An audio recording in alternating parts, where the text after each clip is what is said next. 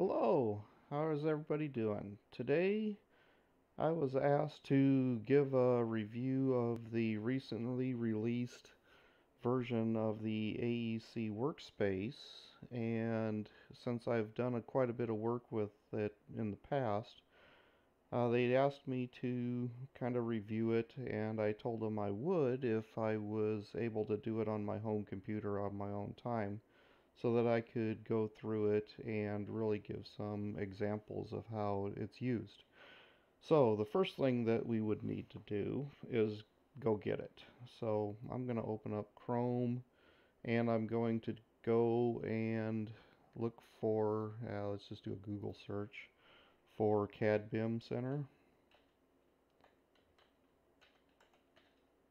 Ah, CAD BIM Center USACE, that's a good one. And if we go click on this CAD BIM Center, cadbimcenter.erdic.dren.mil, that will take us to the uh, CAD BIM Center's website. When I get in here, I see that there's BIM and SIM area, and underneath there is the AEC work structure, and underneath here is download the Bentley AEC Workspace version 3.1 update. Uh, updated 2-1, so February 1st, 2021. So that's the latest thing, so we need to get a copy of that. And then we also need instructions for installing the Bentley Connect workspace in a local configuration. That only gets me so far, so Okay, we'll start with this local configuration and then we'll go through and do it on a network. That way we can show a couple different ways and if I get time at work I'll show how to do it on ProjectWise. But for now let's go get a copy of this thing. So I'm just going to click on it and it's going to ask me to log in. So I'm going to sign in and this is going to download the workspace onto my computer. It's a zip file. Then I'm going to come back over here and I'm going to click on this instructions and kind of see what it has to say. Uh, if exists, delete the AEC workspace folder located in C program data AECWS. Uh, note, deleting this folder will remove local configurations that were added to prior to the prior workspace. So there was a phase one and a phase two of this workspace.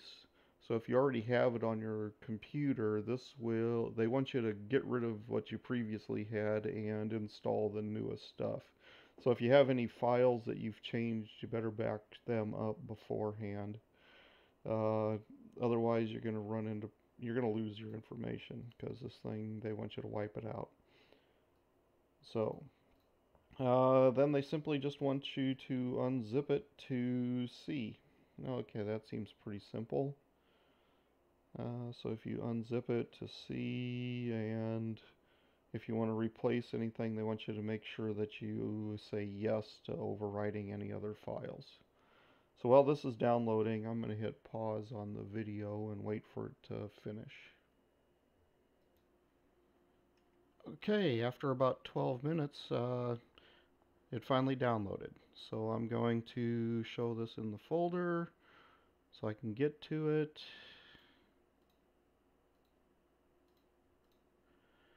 And here it is. So it's in my downloads folder. if we go back to the instructions, it said unzip it to C. So if we're going to unzip it to C, wait, we should probably verify some of the other settings in here. So I'm going to open up File Explorer and I'm going to go to the C drive, open up program data. Wait, I don't see that. So I should probably come over to View and show hidden hidden items so that I can see the program data folder. In the program data folder, I do not have an AECWS folder in there, but I do have a Bentley with a MicroStation Connect Edition. I also have OpenRoads Designer Connect Edition I have also OpenBuildings Designer Connect Edition and ProStructures Connect Edition. So it's probably going to write stuff into those locations too. So let's see what happens. So I'm going to shrink this down to make it a little easier. And I'm going to use 7-zip to make my life a little bit easier. There it is. I'm going to extract it and I'm going to extract it to the C drive and I'm hit OK. This won't take too long to unzip hopefully.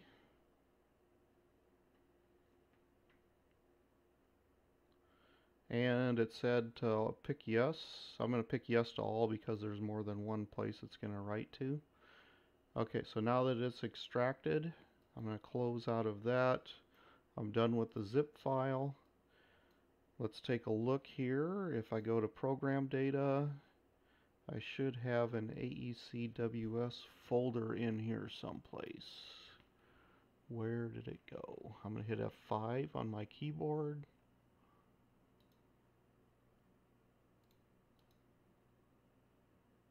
And what happened? There it is. Now it's showing up. So I guess I just had to refresh it and F5 didn't uh, help any, but it's extracted at an AECWS folder. Let's take a look and see how big this thing is. It is 475 megabyte and 2,829 files and 2,032 folders. Woo, it's big. Alright, well, let's see if we got it and it's working now. So if I start MicroStation, to tell if it's working, I should see AEC workspaces and work sets. So if I come over here to the workspace, AEC English workspace, and I see the AEC English work sets. Testing English. Why is there a testing folder in here? You would think they would have cleaned up and sent out a clean folder structure. Hmm. Well, I'm pretty sure the testing folder shouldn't be in here. So the first thing I'm going to do is come over here to show all properties and I'm going to click on this AEC testing to open up that location. Then I'm going to come back to workspace and this testing stuff really shouldn't be in here. So I'm going to just delete everything that has testing in it and close that. Then I'm going to check the metric workspace, see if they did the same. Ah, they did the same thing here too.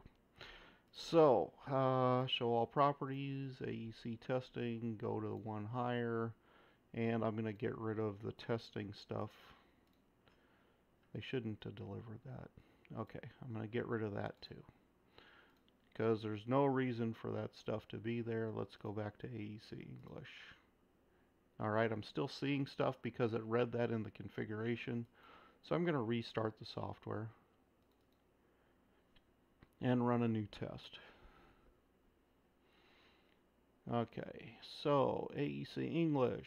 Now I have just the two. There's a local English and a template English. The template English is where you go to create new work sets. The local English is the uh, the folder for if you just want a very simple folder structure. Uh, bare bones basic stuff. Just the minimum items are in there. So if I'm going to create a new one, I need to create a use the AEC template. Uh, and this is the English side is actually U.S. customary units. So when you see English uh, or Imperial, that means U.S. customary units.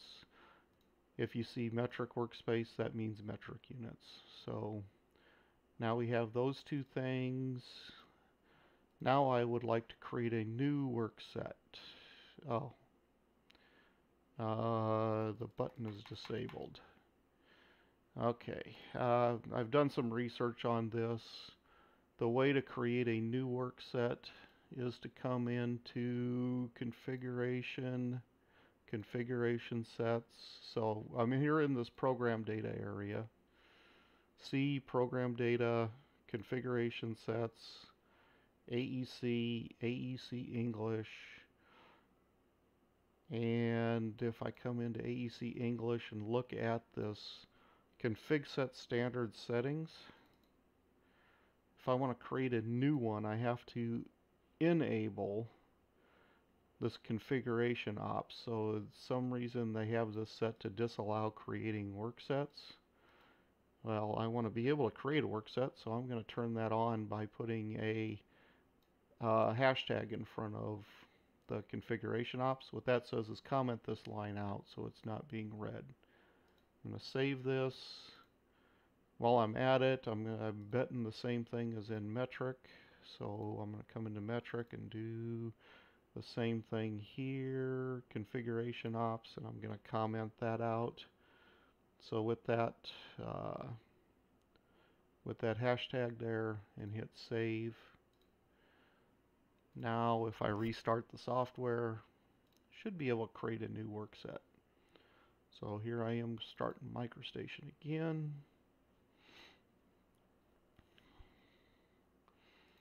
Go to the English workspace. Ah, now I have the ability to create a new work set right there. So I'm going to hit create a work set and I'm going to use my AEC template English to create my new work set and I'm going to give it a name. Uh, and this is going to be my new work set. And demonstrations. And I'm going to not hit create folders only the only reason I would do this is if I didn't want any of the resource files that are in the template English workset uh, to be copied to my new workset, but uh, for the most, that would only be used if I just wanted the DGNWS file and the config file to be copied into ProjectWise for the processes of working in there. But for the most part, what I want to do is to get everything that's in there and then see what uh, what we get. So I'm going to hit OK. And I'm going to start my new work set. And I'm going to say new file.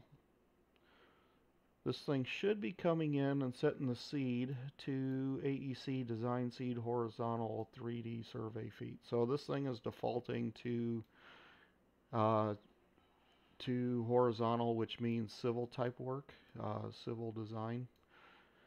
If it says vertical, that's more architectural design. So if you want to see feet and inches, you use vertical. If you want to see feet and decimal feet, it's horizontal. And I'm just going to create a new file in here. Later I'll show you how to create one with the proper naming convention. But for now I'm just doing a little bit of testing to see what's going on. And let's take a look and see. So, the, one of the key things to know is if the workspace is working, is that you have this AEC menu up here. Looks like I have some customization stuff going on, so let me clean that up and I'll come back next time and show you how to do a little bit of customization.